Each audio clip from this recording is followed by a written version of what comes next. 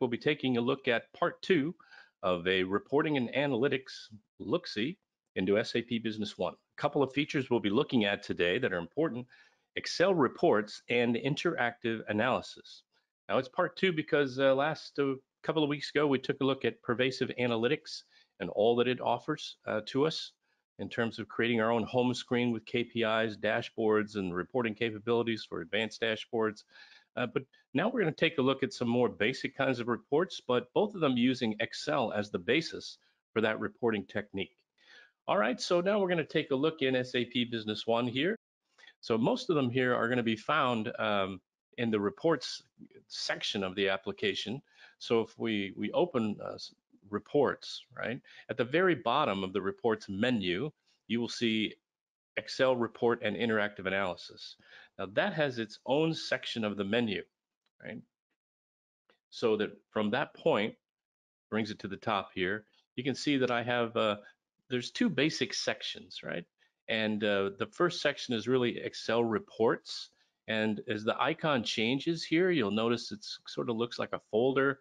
Uh, then it changes a bit, right? Once I get past uh, this purchasing area and I, I can come into another section where I have interactive analysis kinds of looks at things.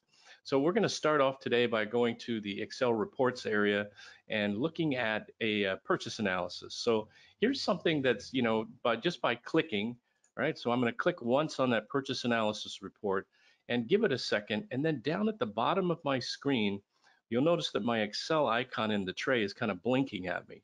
And I can see that something's been loaded. So I can retrieve that now. And this is the report that that produced. So all of these reports, uh, I can, you know, manipulate it in Excel all I want, but I have no way of like saving this work back in Business One or anything like that. It's just a report that runs for me to do analysis with. Um, maybe it's exactly what I'm looking for, uh, but I maybe I can manipulate this data, uh, copy it, paste it, turn it into a pivot table, do a lot of things with it that I might want to. So there's many reports provided out of the box uh, in Excel reports design, we call it, uh, that are available to us in Business One. Now, here's an example of a report that I have created uh, with Excel reports. And so that's really what I kind of want to show you today is how do you create your own report in Excel reports? And then we'll hopefully have a little time to take just a brief look at interactive inter analysis also, right? So if I want to create this particular report from scratch in SAP Business One and uh, be able to save it as a report, as I did here, that I can retrieve in the menu and run again, right? How would I do that? Well, let's take a look. Now, one thing I want you to know is that once I have a report that I've saved, like over here, you remember our common functions uh, the other day uh, that we saw a couple of weeks ago? I've actually placed that report also in my common functions area so that I can run it from there. I don't have to retrieve it from the menu in the future. But if I want to create a report from scratch using the new Excel reports tool, I'm going to go to the tools menu and you'll see here a menu item called Excel report and interactive analysis designer. So I'll click that and just like I did when I was ex executing the report, I'm going to take a look down at the bottom of the screen and notice that my Excel icon is kind of blinking at me again, right? So I'm going to open that and retrieve it to the screen. Now it's completely blank. I'm going to maximize it for you.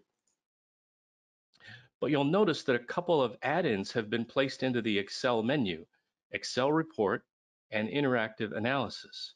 So this is kind of where you go to create a brand new Excel report or a brand new interactive analysis. So uh, we're going to work mostly today with Excel report. And I'm, the reason that I won't be able to show you how to create a brand new interactive analysis today is because it's a new version of SAP Business One and that has a bug in it when I go to save it or open a new file. At some point in the future, excuse me, I'll be able to show you some of that as well. But it works very similar to Excel reports. So I'm going to open the add-in and you'll notice it has its own little menu here, right?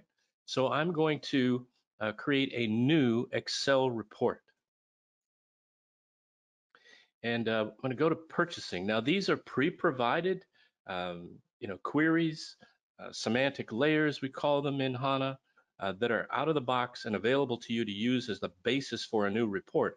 And they cover a lot of areas of the application. So I'm going to go to this multi-document scenario, and you can see there's many of them. And I'm going to use today the purchase analysis. And when I select it, it could, you can see the fields that are here, so you can go, oh, that looks exactly like the kind of data that I'm looking for. Now, I might never use all of it in my report, but probably what I want is contained within that list if I take a little snapshot of a look at it. So I'm going to click OK. Now it's going to kind of load the tool for me in a little bit different way.